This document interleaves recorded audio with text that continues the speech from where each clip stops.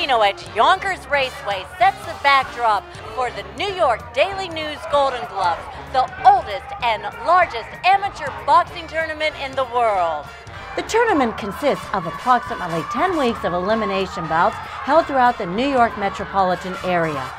A field of hundreds of fighters are narrowed down through these bouts, which leads to the finals. The tournament started in 1927 and has been the launching pad to many professional fighters such as Sugar Ray Robinson, Riddick Bowe, Floyd Patterson, and more recently Zab Judah, Paulie Malignaggi, Danny Jacobs, and Marcus Brown. Tonight, we have the opportunity to speak with some of the athletes about their performance in the ring, as well as the discipline that it takes to compete at this level. This is the New York Daily News Golden Gloves, and it's amateur boxing at its best. With this is Berenis Mako from Gleason's Gym. Yes, yes. You did a wonderful job. You might have come out a little short. Uh, anything you might have changed out there?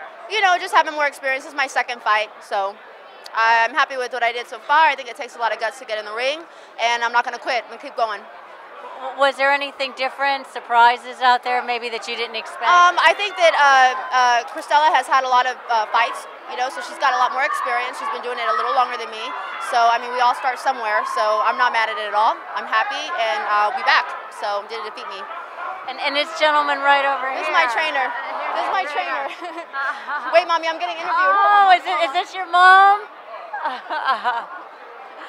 Wait. Oh, is this your mother? This is my mom. Hi. Oh. Come say a few words here, uh, over here about uh, about the, your fighter. Right. Yeah, Bernice is my fighter. Um, this is only her second fight. The girl she fought had a lot of experience, but she just got a lot of heart. You know, when she made it this far, and the next time she fight, she'll take it. Now, what as a female made you decide to go into a sport such as boxing? Um, it's an emotional question for me because I feel like uh, it's something that I've always had in my heart that I wanted to try.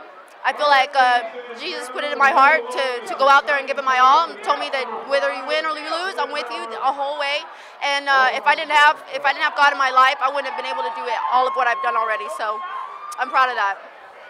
And your mother was just here. That was. Oh, she's got me. She's got me crying now.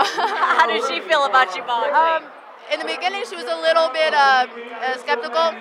Just the idea of me, you know, putting my face out there to get punched and stuff. But uh, now, like, I don't know, something clicked in her, and she's just been so, so supportive. Like, supportive. She drove up here from North Carolina to watch me fight. So it means a lot to her. She's got a lot of support. Mm-hmm. And outside of boxing, what else do you? Uh, what's your profession? Um, I'm a nanny. I take care of kids, um, and I'm also a designer. I like to do fashion and stuff. So that's basically it. Are designing any clothes? Yeah. yeah. Uh, very soon, probably. I want to do a women's uh, boxing wear.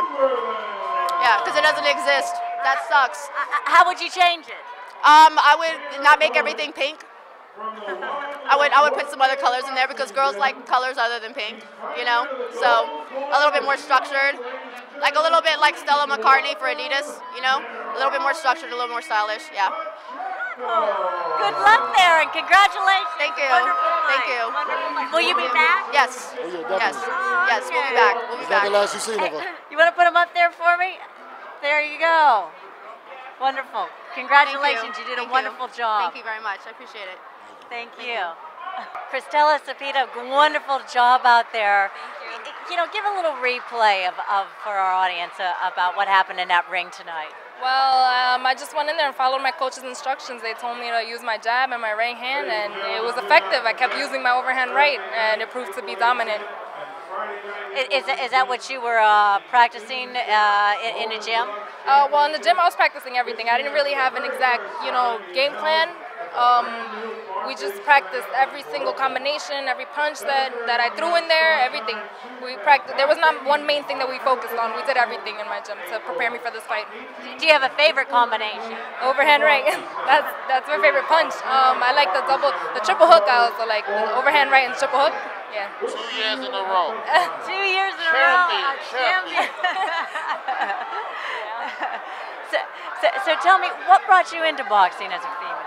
Well, um, I've always been an athlete. Throughout high school, I would play soccer, basketball, softball, everything. Um, uh, I just decided to come into the gym one day. My sister brought me to the boxing gym, and I spoke to the coach. And ever since the first day of training, I loved it. And I decided that I wanted to compete, and I started, and I loved it. And, and who's your mentor? Um, coach John, John Morrison, and Pat Mitchell, both of them. They they they brought me a long way. Ever since day one, they've stayed on my back with everything, and it's more than, than boxing with them. It's, they're, they're like a family to me. They, they brought me a long way. Family. Yeah, family. Y- you know, boxing is like that. Number three in the country, number one in New York. Champion two years in a row. Champion. Champion, champion. That that is wonderful. Do, do you plan on going professional? Or? No, I plan to pursue a career in nursing, so I don't Oh, want in nursing? Yeah, I don't want to continue as professional, but I'll definitely continue the workout. Y- You know, I, I, I'm, I'm wondering about that as far as nursing. How do you feel about getting hit and the punches? Do you, do you feel that uh, boxing's too brutal? Um, if you do it for a long time, yeah. But for now, it's a great hobby. It teaches me a lot of discipline and commitment, so I love it. It is a commitment. Hey, well, would you like to say a shout out to your uh, My fans? out parents, my family, all my friends that came over to support, everybody from the gym. Thank you so much for coming to support. It means so much to me, and you guys helped me to, to be able to win tonight. Thank you. Hey, you want to put them up here for me? And uh, a winner, a winner. Thank you. One. you. I'm Kristal Hart reporting from Empire City Casino at Yonkers Raceway. Hope you've enjoyed the show and thanks for watching.